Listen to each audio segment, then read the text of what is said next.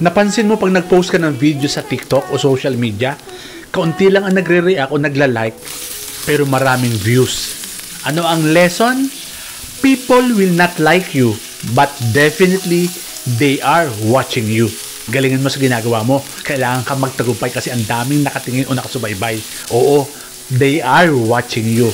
Kahit yung ex mo, kahit wala na kayo, nag-i-stalk pa rin sa'yo. Ay sas, tinamaan ka ng magaling.